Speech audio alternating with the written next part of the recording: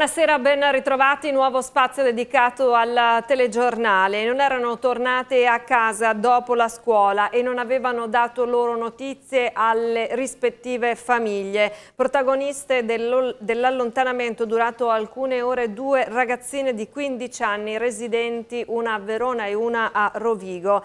Sono state ore di grande apprensione e paura per i familiari, fortunatamente poi la vicenda si è conclusa nel migliore dei modi. Sono state ritrovate ieri sera verso le 23 da una pattuglia della Polizia Municipale non lontano dalla stazione di Bologna. Le forze dell'ordine erano state allertate verso le 18.30 di ieri dai genitori. I vigili hanno notato le due ragazze in piazza e le hanno identificate avendo avendo conferma che erano proprio le due giovani che si stavano cercando. Sono state accompagnate al comando, sono state assistite e poi raggiunte dai familiari.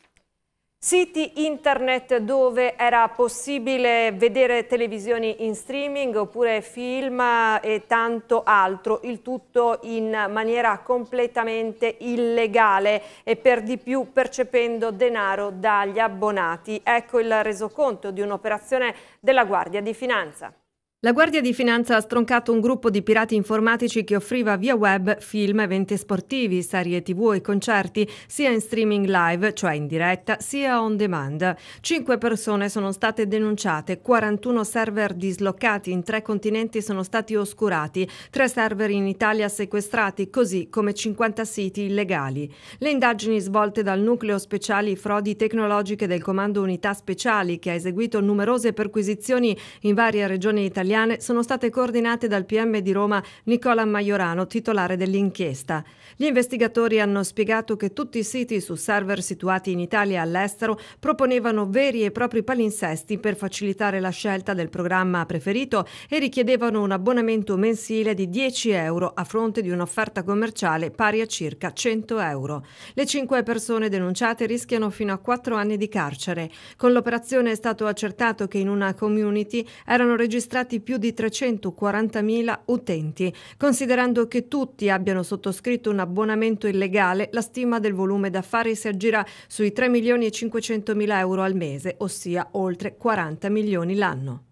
I dipinti rubati nella rapina al Museo di Castelvecchio a Verona e recuperati in Ucraina presentano danni diffusi ma apparentemente contenuti. Lo affermano Paola Marini ed Ettore Napione, i due periti che sono stati nominati dalla Procura di Verona che questa mattina a Kiev ha esaminato proprio le opere d'arte. I dipinti sono tutti originali, hanno spiegato i due esperti. Tutte le tele sono state tagliate lungo la battuta del telaio e sono prive dello stesso. Manca la cornice ottocentesca del San Girolamo di Jacopo Bellini.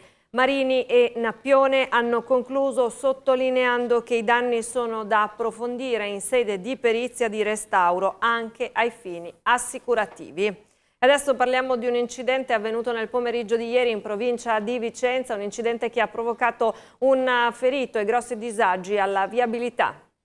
Il conducente di un mezzo pesante è rimasto ferito ieri pomeriggio in seguito a un incidente. Lungo la provinciale 500 a Sarego in direzione Lonigo, il mezzo senza controllo è finito contro due platani che delimitano la careggiata, poi si è rovesciato sull'asfalto, perdendo anche tutto il carico. Sono intervenuti i vigili del fuoco che hanno messo in sicurezza il mezzo. Sul posto è arrivato anche il 118 che si è preso cura del conducente. La polizia stradale ha effettuato i rilievi del sinistro per ricostruire la dinamica.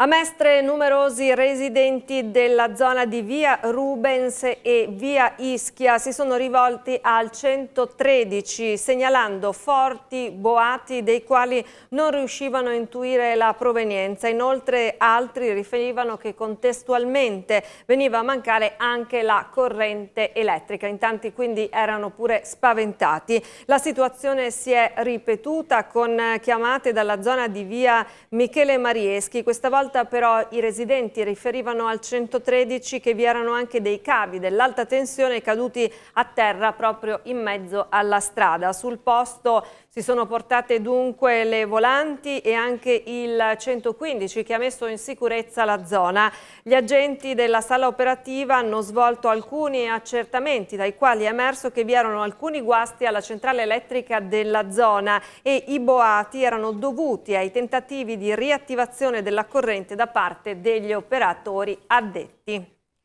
Questa mattina siamo andati in centro a Padova, proprio davanti a Palazzo Moroni. È stato allestito per una settimana un campus dedicato alla salute e alla prevenzione. Guardate. È stata una settimana impegnativa in tutta Italia per la prevenzione e parliamo di tiroide, ne abbiamo parlato anche nei giorni scorsi. Ci troviamo a Padova dove è stato allestito un campus dedicato e siamo con la professoressa Scarone. Buongiorno, buongiorno, a tutti. Abbiamo organizzato in occasione della settimana mondiale della tiroide dal 23 al 27 maggio anche questo campus della salute, cioè un'iniziativa dedicata alla prevenzione, alla prevenzione della tiroide che è una patologia così diffusa nella popolazione probabilmente il 20-30% della popolazione ha problemi di tiroide, spesso non gravi, eh, curabilissimi, ma eh, comunque ci sono, ma non solo a quella della tiroide abbiamo aggiunto anche la prevenzione in dermatologia, la prevenzione metabolica, cioè la prevenzione del diabete, della pressione alta, la prevenzione in campo di malattie reumatiche, anche queste molto diffuse, abbiamo avuto anche il fisiatra e voi sapete quanto i problemi articolari affliggono la popolazione. E devo dire la sensazione è che abbia avuto un grande successo perché eh, ieri abbiamo effettuato più di 200 visite in un bellissimo ambulatorio mobile dato dalla Croce Verde di Padova. Avete allestito anche delle tende? E due tende da campo trasformate in ambulatori, due tende da campo che sono state date dalla protezione civile regionale e in modo particolare dalla squadra sanitaria degli Alpini di Vicenza che voglio ringraziare perché c'è stato un gran lavoro di tutti questi eh, volontari. Oggi già stiamo superando a quest'ora le visite fatte ieri, già oggi sono più di 100, abbiamo cominciato verso le 9 e mezza di questa mattina e andremo avanti fino alle, alle 6, dobbiamo chiudere. Ecco, mm, se dobbiamo parlare di prevenzione, quanto è importante? Ma io credo che sia una delle missioni più importanti dei medici perché eh, prevenire vuol dire anticipare eh, o addirittura il manifestarsi di una malattia o diagnosticarla in una fase molto precoce quando eh, la cura è più semplice, può essere radicale, può essere conclusiva e se mi permettete, eh, tra l'altro è anche un sistema che fa risparmiare soldi nostra, al nostro servizio sanitario perché prevenire ovviamente eh, blocca sul nascere certi problemi che poi invece vanno affrontati con eh, metodiche di, di, diagnosi, con cure spesso complesse e anche ovviamente in termini di costi estremamente impegnative.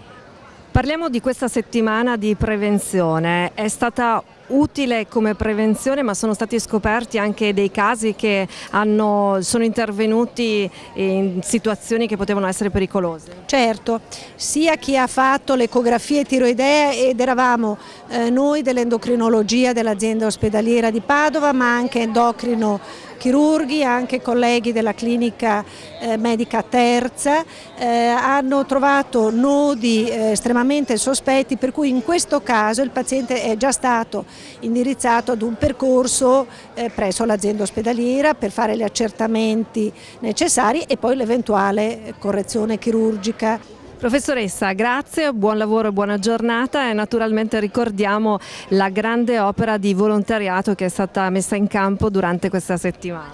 Senz'altro, grazie ai volontari, nulla avremmo potuto fare senza di loro e grazie a voi che ci avete dedicato attenzione a favore della nostra cittadinanza. Grazie.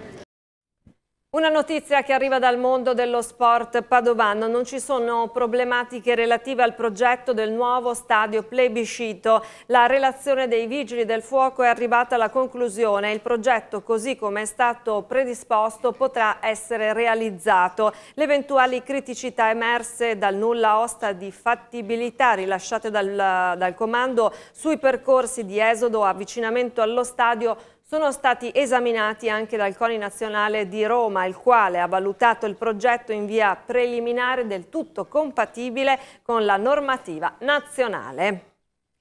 Nel mese di maggio le scolaresche di solito, succede ormai da diversi anni, incontrano i pompieri. Si tratta di cicli di incontri che vedono i piccoli alunni entrare nelle caserme e scoprire quindi da vicino le attività dei vigili del fuoco. Vi facciamo vedere la giornata conclusiva che si è svolta a Vicenza. Terminato questa mattina il ciclo di visite delle scolaresche al comando dei Vigili del Fuoco di Vicenza. Da tempo ormai nel mese di maggio i ragazzini incontrano i pompieri, una visita sempre molto attesa dai giovanissimi scolari, un incontro ludico, didattico, che fa sempre sognare, fantasticare e imparare. Oltre 2000 bambini di Vicenza e provincia hanno assistito con entusiasmo, curiosità e stupore al montaggio della scala italiana, a un incendio, al salvataggio di una persona con l'autoscala, al soccorso di una persona coinvolta in un incidente. Enorme meraviglia dei bambini quando a un tratto si è sentito sentito il rombo dell'elicottero Drago 80 del reparto volo di Venezia in volo di addestramento volteggiare nel cielo sopra la sede. L'equipaggio dell'elicottero ha eseguito una manovra di calata e recupero tramite il vericello di un aereo soccorritore sul tetto della sede di Via Farini. L'incontro è terminato con dei giochi d'acqua e la visita dei mezzi dove i bambini hanno potuto indossare l'elmetto dei pompieri, salire sui camion e suonare la sirena. La manifestazione dei pompieri vicentini si è svolta in collaborazione con l'associazione Associazione Nazionale Vigili del Fuoco, che curano anche tutte le attività legate a Pompieropoli. E adesso l'appuntamento con il fisco in 60 secondi. Oggi vi spieghiamo quando e per quali certificati è necessaria la marca da bollo. Alcuni certificati possono essere lasciati in carta semplice, per altri ci vuole l'imposta. Vediamo quali. Ad esempio, tutti i certificati anagrafici sono soggetti all'imposta di bollo che attualmente ammonta a 16,52 euro per i diritti di segreteria. Il certificato è esente quando la richiesta viene fatta da uno studio legale o da un avvocato per uso giudiziario, come la notifica di un atto di precetto, una citazione o un altro atto giudiziario. In carta semplice invece si possono fare i certificati di iscrizione alla scuola obbligatoria materna, asilo nido e borse di studio, quelli per ottenere l'assistenza sanitaria, per l'iscrizione alle liste di collocamento, i documenti per la leva militare, i sussidi per la missione in istituti di beneficenza, gli atti e le copie del procedimento di accertamento e riscossione delle imposte, le istanze di rimborso imposte, gli atti per la procura di minori, procedimenti di adozione speciale e affidamento, i certificati richiesti alle ASL, gli atti e i documenti relativi alla formazione delle liste, le denunce di smarrimento e duplicati di atti e documenti emessi dalla pubblica amministrazione, i certificati dello Stato civile e per la scuola superiore, le pratiche di divorzio, ma non di separazione, le dichiarazioni sostitutive di, di, certificazione e dichiarazioni sostitutive di atti di notorietà, queste non devono essere perciò eh, eh, autenticate, quindi non scontano più l'imposta di bollo, gli atti, documenti, istanze e certificazioni per le onlus, le istanze firmate davanti al funzionario incaricato a ricevere la documentazione, il, il perfezionamento pratiche assicurative, la partecipazione a pubblici concorsi, le domande, certificati, documenti e ricorsi in materia di assicurazioni sociali obbligatorie, assegni familiari, pensioni, iscrizione alle liste di collocamento. In tutti gli altri casi, quindi, quelli non elencati ed appena esposti, ci vuole l'imposta di bollo di 16,52 euro. Come sempre, in caso di dubbi o per chiarimenti, non esitate a contattare il vostro CAF o professionista di fiducia. Buonasera! Continuiamo il nostro appuntamento dedicato all'informazione anche con altre notizie. Il 29 maggio a Padova si svolgerà la biciclettata sugli argini. Nel servizio i dettagli per chi vuole partecipare. Domenica a Padova si svolgerà la biciclettata sugli Argini, partenza alle 14.30 da Prato della Valle. Si tratta di un itinerario facile, adatto anche alle famiglie, 15-20 km, che prevede dopo un percorso in città lunghi tratti sugli argini immersi nella natura in uno splendido panorama fluviale. Il ritorno previsto per le 17.30 sempre in Prato della Valle. Per gli iscritti alla sfida europea in bicicletta i chilometri sono validi per la classifica di Padova. La bicicletta biciclettata rientra tra le attività previste dalla campagna di promozione della ciclabilità del progetto europeo Velocittà. L'evento è organizzato dal Comune con l'associazione Amici della Bicicletta. E adesso come ogni fine settimana è arrivato il momento di approfondimento dedicato alla storia e allora incontriamo Marisa Sottovia, esperta di storia. Grazie, grazie gentilissima Patrizia. Di recente è stato esposto il busto di San Lorenzo del Donatello presso il Palazzo della Ragione di Padova.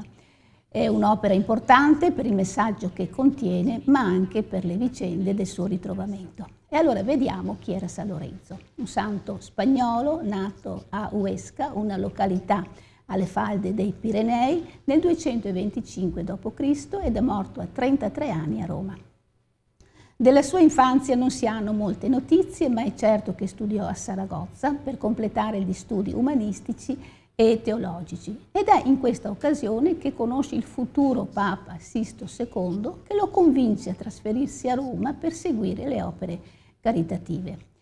A Roma in quel periodo era imperatore Valeriano che scatena tutta la sua violenza nei confronti dei cristiani e con editto dispone che vengano uccisi vescovi, presbiteri e diaconi.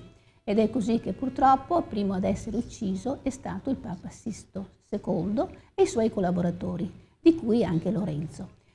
Fu un martirio atroce ed resta famosa la frase che pronunciò ai suoi aguzzini sono cotto nella parte destra, giratemi nella parte sinistra. Il fatto avvenne nel 10 di agosto e che è una data che si collega a quella che è la notte delle stelle cadenti di San Lorenzo. San Lorenzo fu un santo molto venerato, patrono di molte città, protettore di bibliotecai e anche dei librai.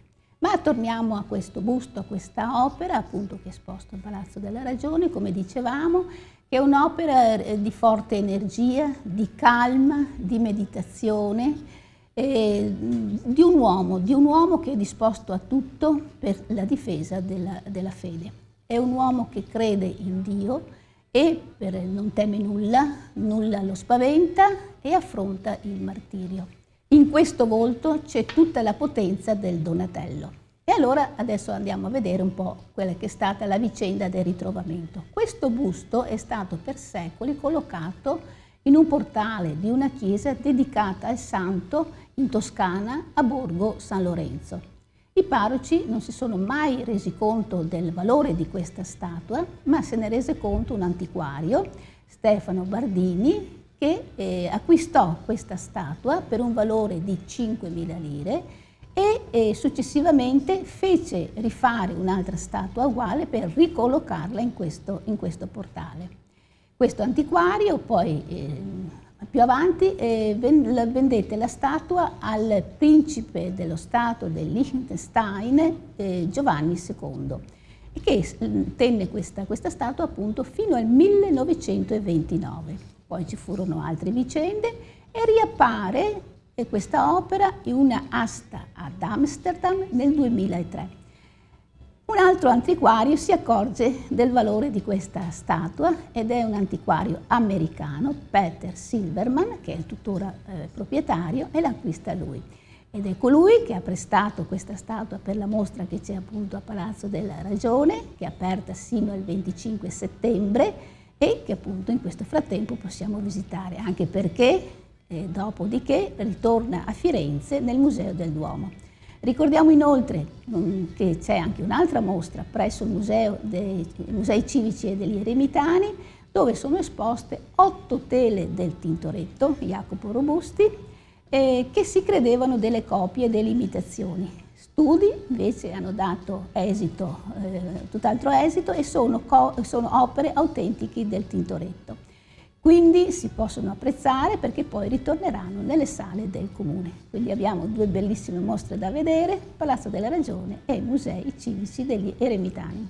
Grazie a Marisa Sottovia per l'approfondimento dedicato alla storia. Vi ricordo questa rubrica ogni fine settimana. Parliamo adesso di clima, cosa dobbiamo aspettarci da questo fine settimana che sta arrivando? Il promontorio anticiclonico si indebolirà nel fine settimana permettendo l'ingresso di correnti umide sud-occidentali che porteranno ad una serie di fasi di tempo molto variabile e anche instabile con rovesci temporali tra la seconda parte di domenica e probabilmente fino a martedì. Le temperature massime saranno più basse a partire da domenica.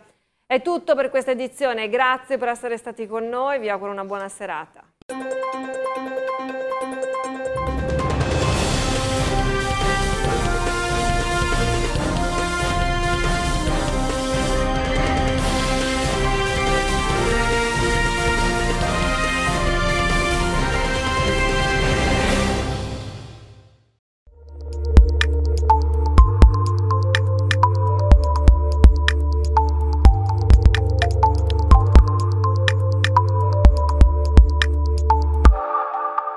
Oggi eh, vorrei parlare un po' del sunto di tutto quello che abbiamo trattato in queste puntate. Abbiamo parlato di gengive, abbiamo parlato di prevenzione, di funzione masticatoria, abbiamo parlato dell'osso. Io volevo solo chiederle, eh, spesso ci sono queste problematiche che riguardano l'osso, può ricrescere cioè, o è sempre tutto perduto? Beh, l'osso a volte può ricrescere, non sempre, però eh, l'osso spesso nelle tasche parodontali riesce a ricrescere e, e, rifissa anche i denti. Però tornando mi ha fatto una bella domanda e per questo la ringrazio Patrizia perché eh, volevo parlare dell'allungamento dei denti. Eh, tutti dicono ma mi sono allungati i denti mi sono salite le gengive, ma la gente non ha capito che le gengive sono sempre là, ma è l'osso che, che si è ritirato, riassorbito o rosicchiato, è l'osso che è andato su nei mascellari. Allora vedi queste signore che hanno i denti lunghi, ma se fanno la cura delle gengive possono evitare questi allungamenti. L'allungamento dei denti è un indice di invecchiamento e si può evitare. Si può evitare perché se noi teniamo una gengiva sana, i denti non si allungano. È brutto vedere, io, per me è brutto vedere delle signore, belle signore ben vestite, eleganti, con dei denti lunghi. Questo problema si può evitare, si, sempre con la cura delle gengive, quello che facciamo eh, normalmente eh, usando dei, certi farmaci per tenere la gengiva sana. Dopo ogni tanto bisogna fare la pulizia, bisogna fare dei tagliandi, bisogna avere cura della gengiva e allora eviteremo le gengive rosse, eviteremo l'allungamento dei denti, che per me è una cosa che si può prevenire. Io nel mio studio la prevengo anzi io, anch'io non ho le gengive retratte, non ho i denti allungati, perché ho sempre cercato di tenere una gengiva sana. Ok, quindi un problema eh, anche estetico che si può risolvere? Ma direi di sì che si può risolvere. Basta fare la prevenzione, bisogna cominciare da giovani però. Lei dice non può a, 60, non può a 60 anni io adesso mi prevengo l'allungamento di questa eh, cura.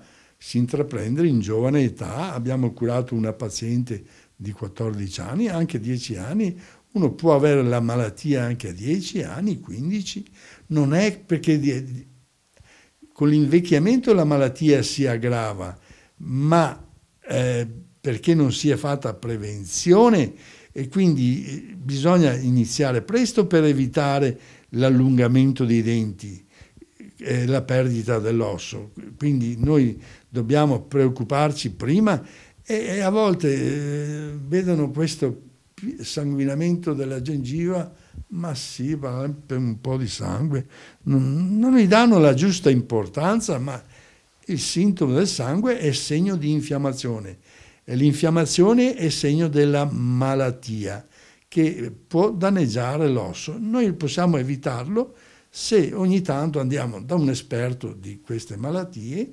e facciamo le pulizie regolari e quando vediamo che la gengiva è rossa avrà qualche problema, ci saranno le tasche e poi tutti credono di... Eh, quando io dico ma tu hai la malattia delle gengive o la piorea, sai che io curo... Ah no, no, io la piorea non ce l'ho mica, sa. Eh, no, tutti mm, dicono, ah io la piorea. No, no. E invece a 60 anni è quasi matematico avere questo problema, insomma, anche più giovani, ma sessantenni, mettetevi il cuore in pace, il problema delle gengive ce l'avete e come?